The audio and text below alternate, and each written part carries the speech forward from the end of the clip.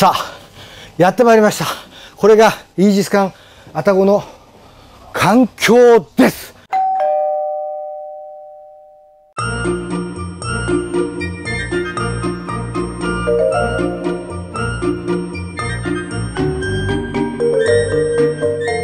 えー、こんな感じで。館内結構ね広々としていい匂いがしてきました。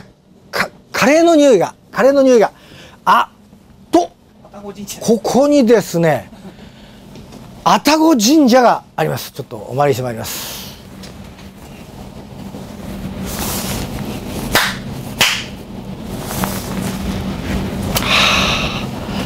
すごいですよね。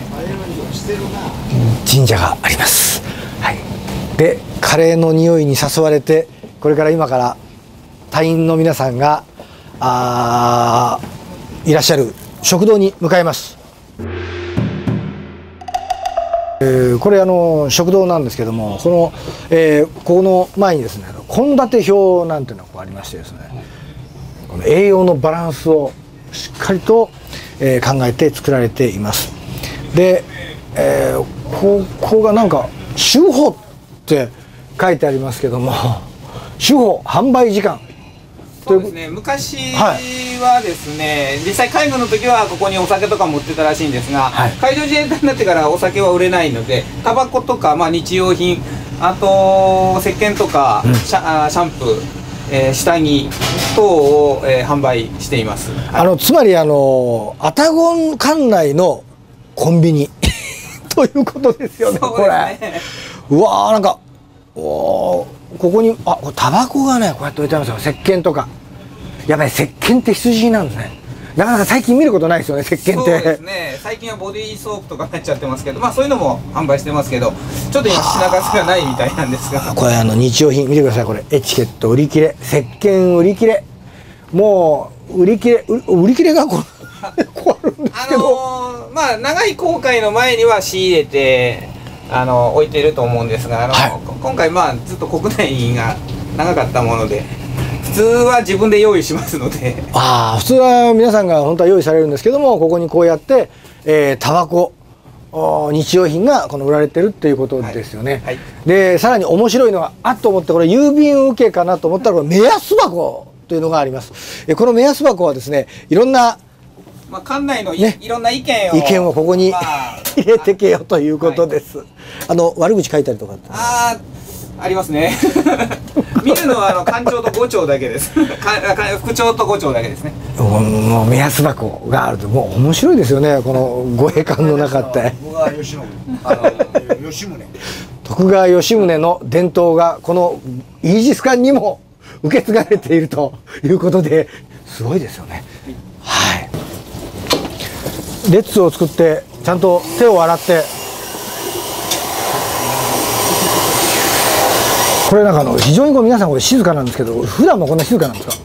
無言なんですけど皆さん。ちょっと緊張してますかね。緊張されてるんですよ。じゃああのちょっと私もですね隊員の皆さんと一緒に愛宕カレーをですね、えー食べてみたいと思います。これを取りましてお箸と。でご飯がここにありますけどねこれご飯どこに入れるんだろう？あこああ 慣れないとね。ななちょちょちょ。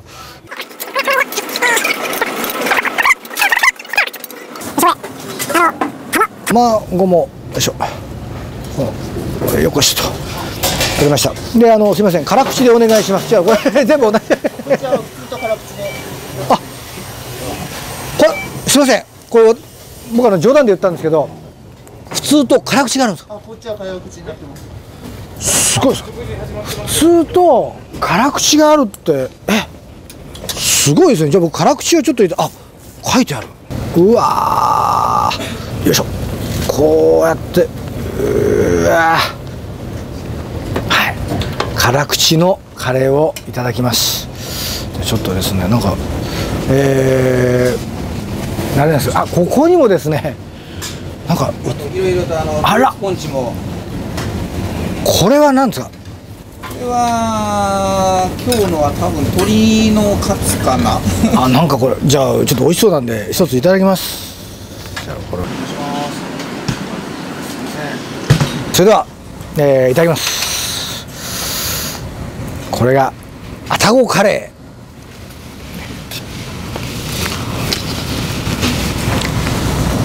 美味しい。これお美味しいですねこれ。美味しいです。辛口。本当に美味しいです。あのなんかねりんごとか果物がなんかこうスッて入ってるような感じがするんですけど、うん、本当に美味しいですこれ。本当ね。まあこれおかわりしていいんですか？あ大丈夫ですよ。ちょっと。これ。これあの愛宕の船以外は何か乗られたことあるんですか？そうです。過去に何席か。あります、はい。どうですか？愛宕の食事は？あ美味しいと思います。ね。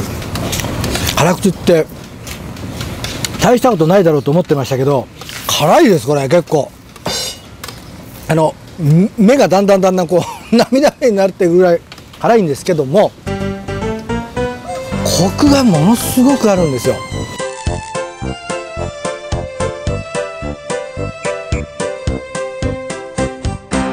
今海上自衛隊では毎週金曜日このカレーを食べておられるんですね、まあ、皆さん海軍カレーということで、えーよく知られてるんですけども帝国海軍の時代はですね毎週土曜日にこのカレーを食べていたんですね。でなんでこのカレーなのかということなんですけども実は曜日を認識するためなんですよね。1週間が終わってこのカレーが来ると翌日は休みということになっておりますんでこのカレーが来ると翌日皆さんこれ上陸されるんですよね。船から降りて。当直の方以外は上陸することができるということなんですけどもね。インドのカレーとちょっと違いますでしょ。インドのカレーと。でこれねインドのカレーと違ってこのなんかこうとろっとしてるカレー。なんか日本のカレーだけなんでこのとろっとしてるのかっていうのはですねこのカレー実はイギリス海軍から学んだものででこの支柱調になってるんですよ。実はですね日本海軍頭いいんですよ。船が揺れた時にカレーがこぼれないように小麦粉が入っているということでまあこういうその知恵なんですけどもね。この海軍伝統の食べ物としては実は、えー肉じゃがっていうのもあるんですね。で肉じゃがはですね、えーこの東郷平八郎元帥がですねイギリスに行かれた時にですね、えービーフシチューをお召し上がりになりましてですね帰ってきてこのビーフシチューがどうしても食べたいということを申し出られたんですけども実はですね日本にないものがありました。デミグラソースというものがなかったので醤油で煮詰めたらこれが 肉じゃがになったということでカレーもそれからあこの肉じゃがもですね海軍出身ということになるんですね。美味しい。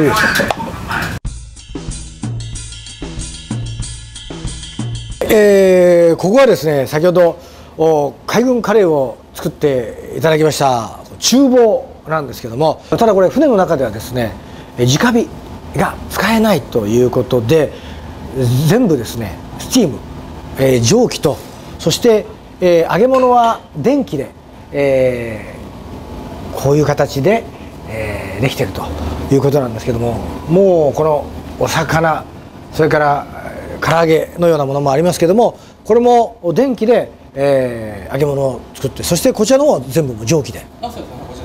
味噌汁もですね蒸気で、えー作るということでありましてですね、まあ、いろんなこうお工夫必要ですよねこれ。ご苦労されてることって何かありますか？特にはないんですけど、やっぱまあ乗員に喜んでいただける食事を提供することが大事なので、まあ、それだけは気をつけて。ですね。ですね。日本国のもう本当に縁の下の力持ちの自衛隊のまたさらにその縁の下の力持ちのこのこう厨房本当に知られざる愛宕の一面皆さんにお届けいたしました。体育戦闘用意